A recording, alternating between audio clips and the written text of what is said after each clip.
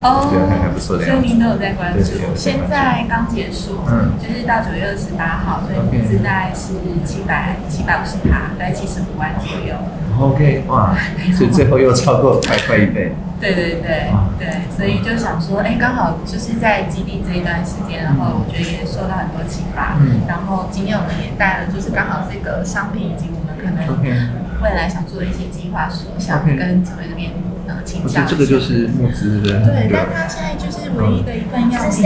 样品。对，我们之后 没有要真的寄出去。成品的时候也可以，类似打样这样。对哦一份给你好可爱哦。考。对，因为它其实就是用木框的形式。对然后这次我们其实一直在做的事情，就是希望可以跟很多的生活创作者一起去做生活价值的共创。是对，然后所以这次就找了一个一日画家叫 Vega。嗯那他这次的概念其实就是因为其实我们都觉得生活在台湾非常的呃幸福。对然后今年也因为疫情的关系，那嗯 Vega 因为他是日本人。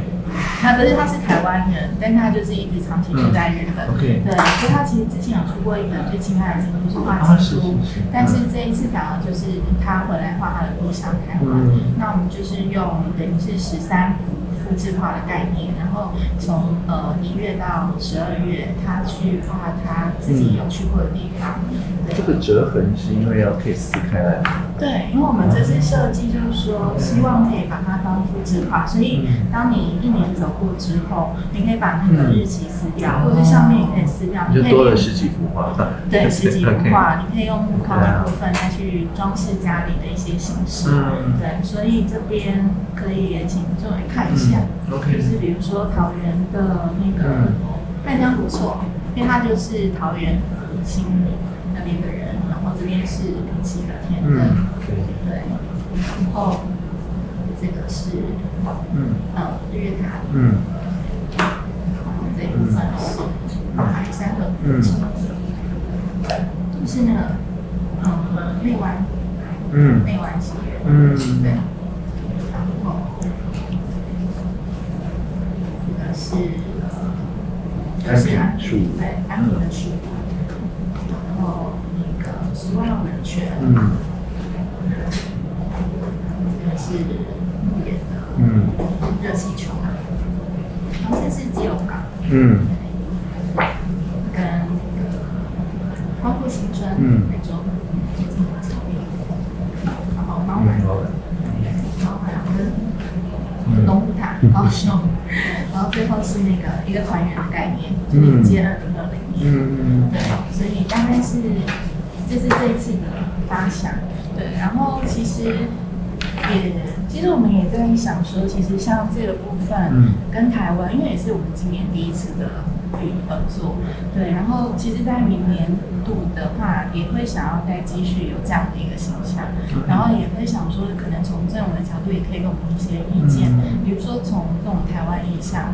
或是这种比较类似也是比较有趣的一个概念的话，可能您这边的一些看法或想法，嗯。对，OK，不，这个很棒啊！这个 我我我觉得呃，我想在募资平台上面，呃，虽然话题性也是有帮助，但是毕竟还是要那个创意真的让大家所接受嘛。对啊，所以我我觉得这个 product market fit 显然是没有什么问题的。对，呃，您刚刚说它最后是连接到二零二二年，所以等于是一个那一年的一个年历啊。对，OK，所以那明年它的呃 form factor 还是这样吗？还是会不一样？呃，明年的部分可能也会是类似是这样的概念，只是我也有在想或在讨论，是说、可能也许在一些材质上，嗯呃，目前这个是 upcycle 的吗？还是还不是这个是差不多是这样子再生纸它是一个环保的纸材，叫做呃草香纸。啊？OK，对，然后所以我们也在思考，就是说那木头呢？木头的部分今年比较没有啊特别、比较没有去用可能塑胶 upcycle 出来的木头。对嗯对，但是也在想说，你们也许在它的一些，比如说麻绳或者木头的部分嗯，它可以跟在地，它会在地某一个乡镇或者县市的元素上面再去做一些些更在地的一些。对啊，最好是它如果是不知道边角料或者反正就是本来没有要用的，那再生。我觉得现在就是 upcycle 这个概念，在台湾大家开始越来越接受。嗯对，那像我这整件衣服都是保特瓶跟咖啡渣 做出来的。哦 那那这个就是呃，我觉得材料科学当然也很有帮助。在以前没有材料科学以前，它成本很高嘛，那慢慢就会变成成本比较低，大家都可以在这样子创业里面使用哦。对，所以最好就是每一个部件都有一个故事可以讲。对，嗯这也是蛮棒的建议。但像假设说跟一些比如说台湾在地比较多的一些元素，或者是说一些乡镇啊去做一些结合的话，我们可以从什么样的管道或角度去？像观光局每年都有一个主题嘛，那明年就会是自行车，我没有记错的话，对，所以它其实上自行车是可以绕台湾一圈的。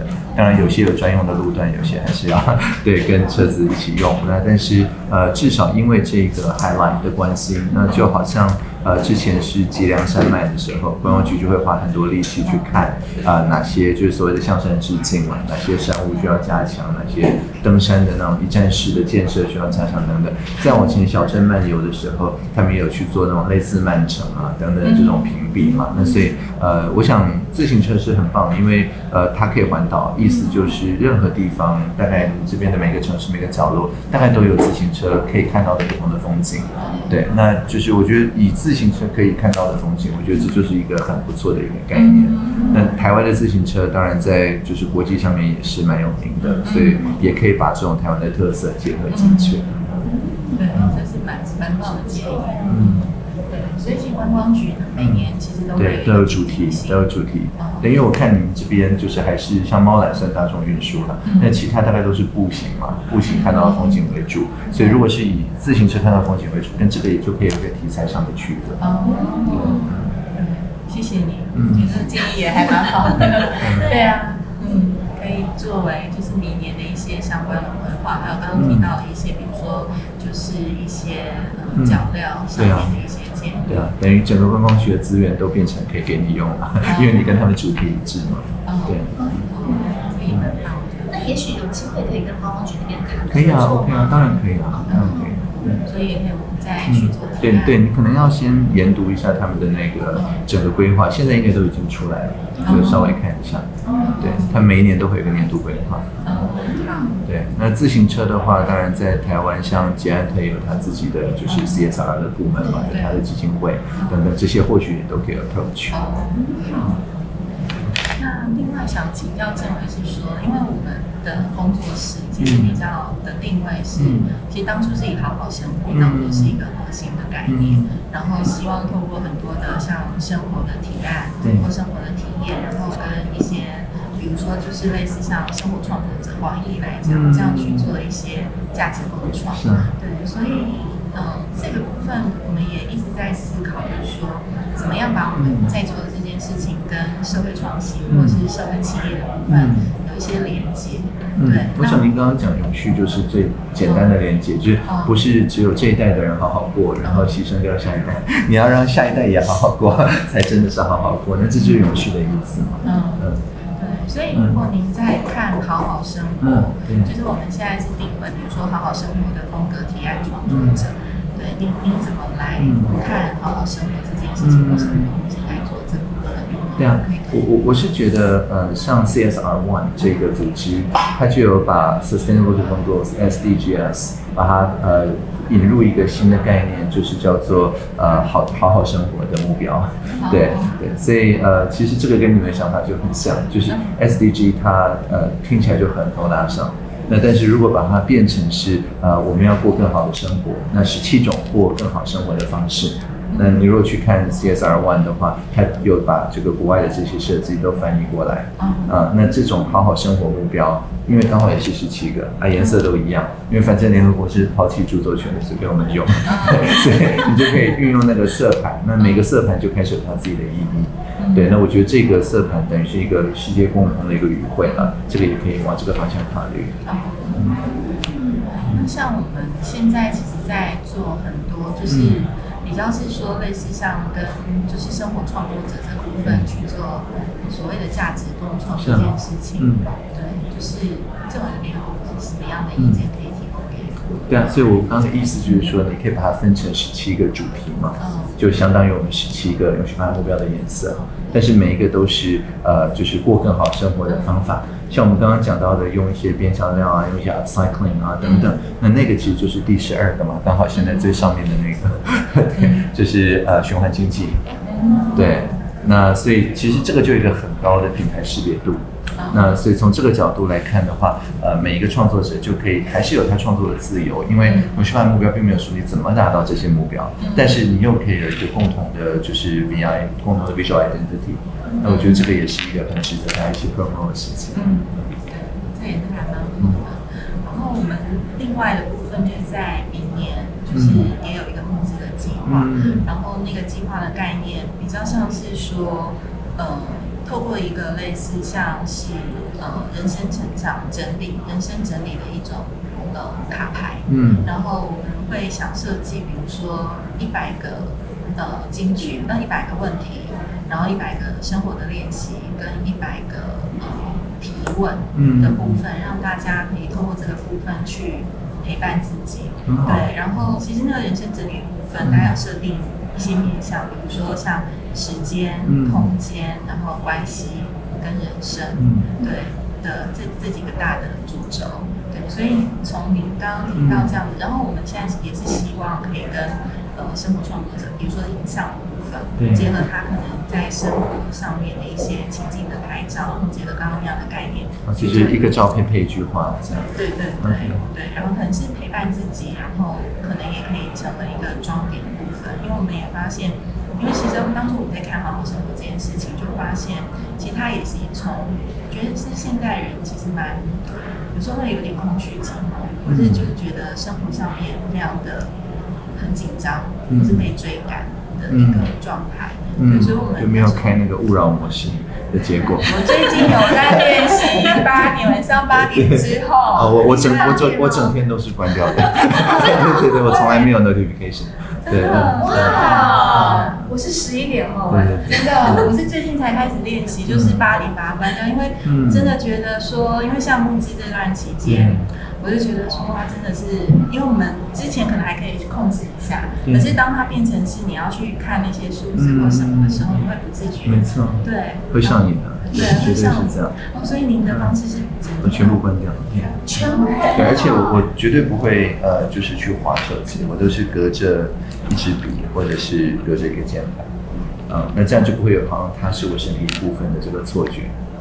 哇，因为有些人他上瘾是真的有那种幻肢的那种感觉，就是你把手机 physically 拿掉，他会很不舒服。嗯对，那就是因为那个 touch screen 它的呃就是反应速度太快了，所以让大脑误以为它是你的身体的一部分。那这样子我们是不是要跟 Apple 说你要用一个那个有笔的，要不然对，iPhone 所以我所以我就就没有 iPhone 啊，我从来都没有用 iPhone 啊。我我从 Palm Pilot 开始用 Doris 呃 Note 等等都是有笔的，都是有笔但是 Apple Pencil 我可以用，所以 iPad 我可以用。OK，了解是这样，所以嗯。所以其实呃，开启飞行模是一个也是一个状态。就是勿扰嘛，就 Do Not Disturb。对，因为因为觉得现在真的是讯息很多，嗯。然后那个干扰的因素对啊。也蛮多的，嗯。所以其实那时候我们也在思考，就是说，就是好好生活这件事情，它其实应该是由内而外。对啊，对嗯，就是当你可能内在平静，然后可以跟自己连接相处的时候，其实他对外在的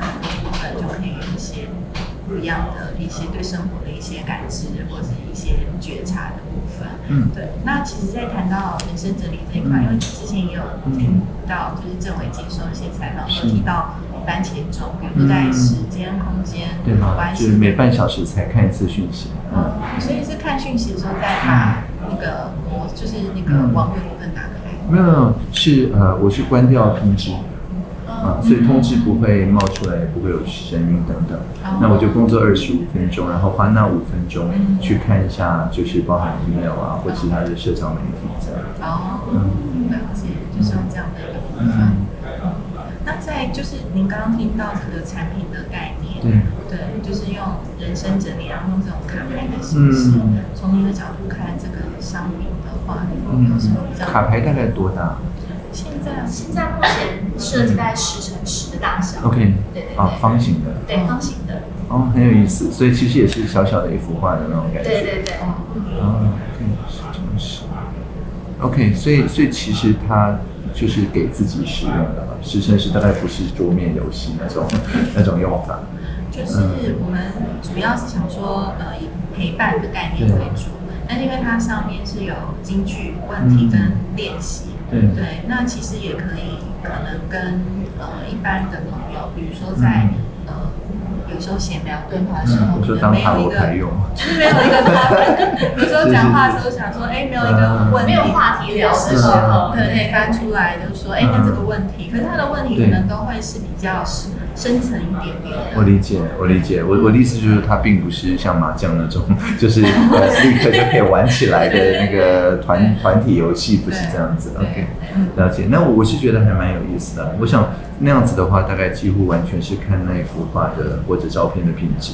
呃，如果它是有点像是呃相簿啊，这个就是让大家哎每一幅都看了之后有灵感，那那那样子就一定会很成功嘛。对，那如果只靠文字的话，可能不容易。嗯嗯嗯，所以就所以政委平常在做整理这件事情，在空间上面有没有自己独特的整理方式。嗯，嗯你是说像我的办公桌吗？看起来就没有在整理。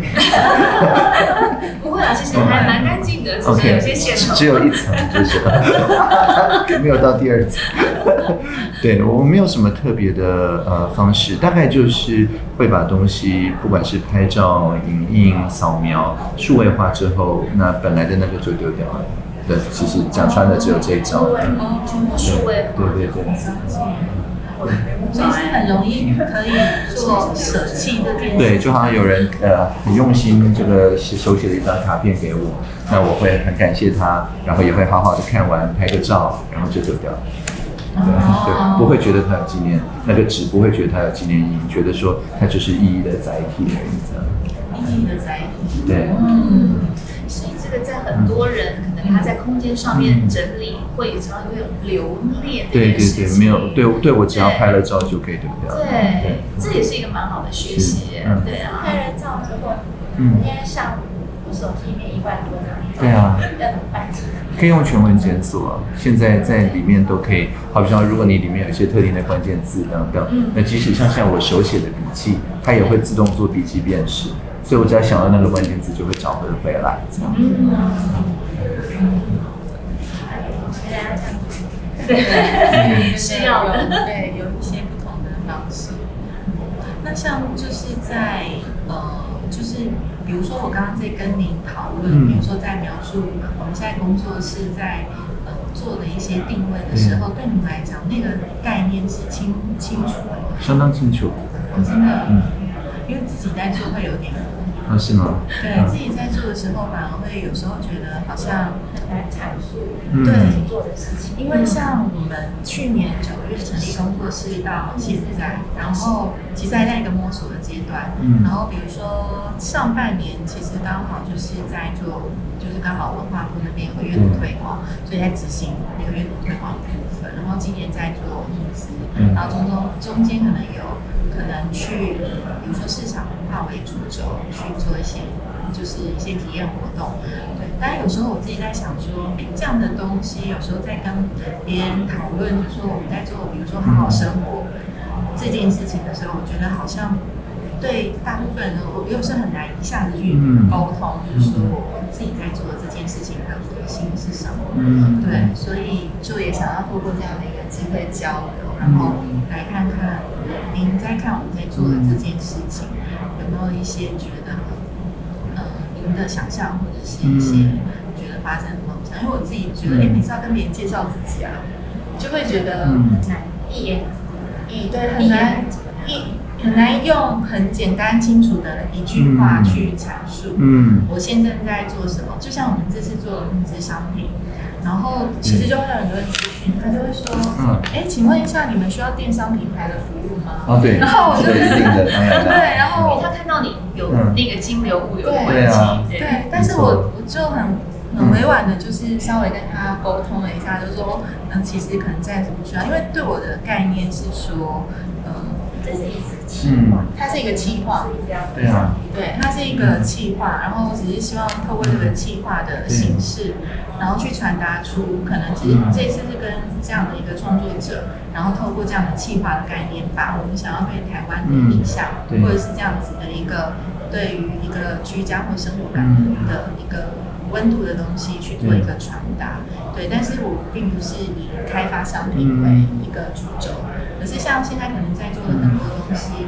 觉得好像这样的东西，有时候人家会觉得说，哎，那你是接案对，我就会觉得，哎，不完全，我可以接案，但好像也不完全是。嗯，对，所以有时候就很想要从可能很多人的意见跟我们反馈，就是说，哎，那从别人的角度在看我们现在做的这件事情，嗯。比较像是一个什么想象，或者是大家比较可以容易理解。我记得你在募资平台上面有写说，这个就是要用嗯珍惜爱护的眼光嘛，重新凝视我们的家乡嘛，没有记错的话，那其实用珍惜爱护的眼光来凝视，那这个呃，我想到的就是就是 curation 嘛，它是一个策展的工作，呃，一个 curator 像我们故宫博物院的院长就叫做 curator，对，那他所做的工作就是提供这样的眼光，提供这样子的凝视。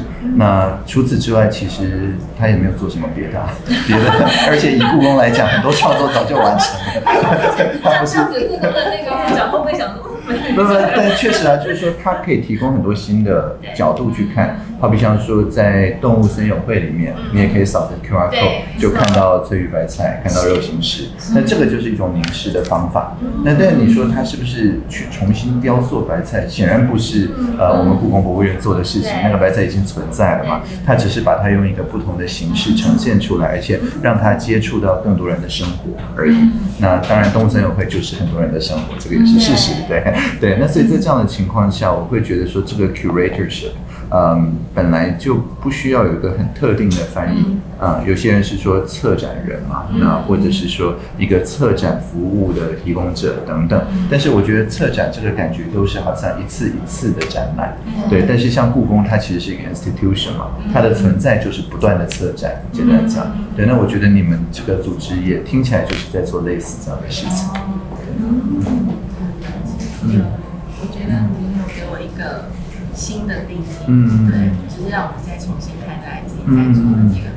对啊，就是 curate，可以是 curate。嗯嗯，所以我们现在在谈，比如说生活策展概念这件事情，算是也算是清楚的。对啊，很清楚生活策展。当然，嗯嗯所以像比如说在谈呃生活策展这个部分，就是从您的角度，您觉得我们在做的事情要解决什么样子的嗯社会的问题或问题嗯吗？嗯，我想有两个嘛，一个是说，就像任何艺术一样，它都可以提醒大家。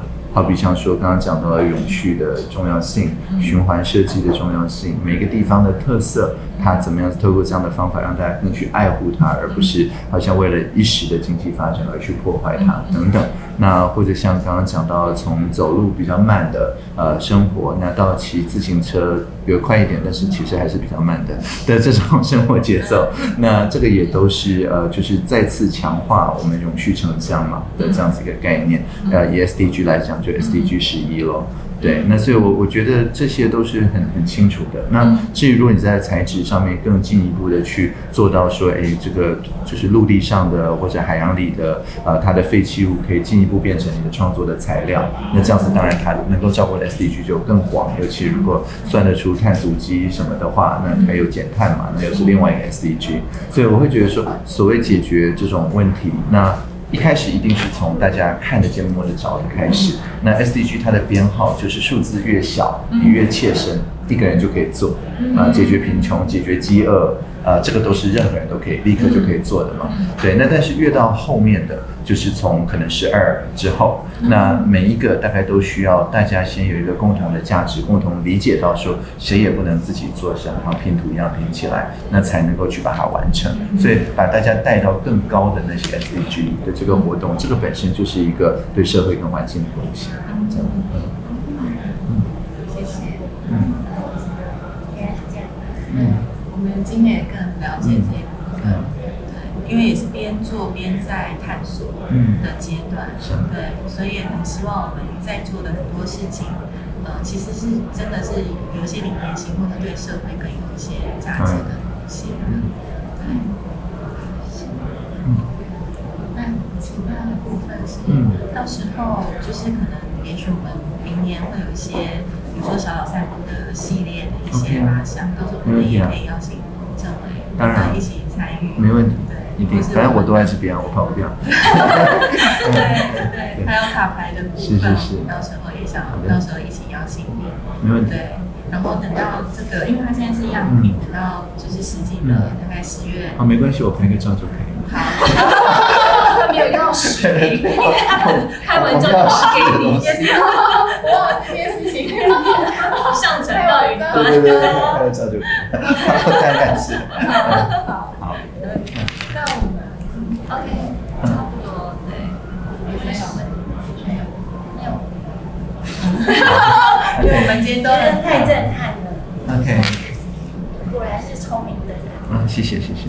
嗯聊完天就觉得嗯跟我们一般人嗯回路不一样，脑波被影响超了。顺畅。对超顺畅嗯，而且很喜欢跟聪明的人聊天。我觉得，觉得，就我们今天比较是闲聊的方式是，嗯但是还是得到了很多的 input。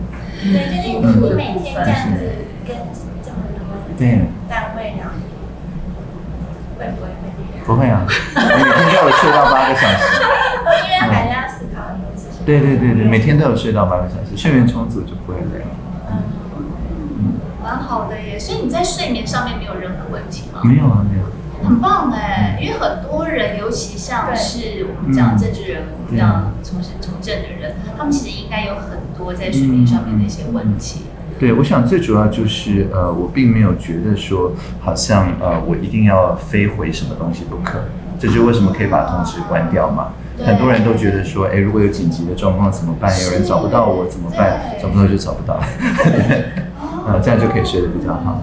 嗯，所以我觉得这都是心态上面的调整，对不对嗯？但这很不容易，尤其我觉得现代嗯人在这么紧张跟很急迫的一个环境之下，对，我觉得我觉得台湾确实是大家好像工作时数比较长。嗯。那工作时数一长，尤其如果你又是沟通相关的工作，嗯。你无形中也在加长所有跟你相关的人的工作时数，对。所以它是一个有点恶性循环。那我们在行政院里确实就是，如果呃长官不离开办公室，一般来讲属官是不敢先下班的，嗯。所以就会骗大家就是越越上班越晚的情况。那我的话则不是这样，因为我主要是在这边，不是在办公室里。嗯那我如果是在行政院里，无论如何五点就下班，六点已经很晚了，对，七点一定看不到我。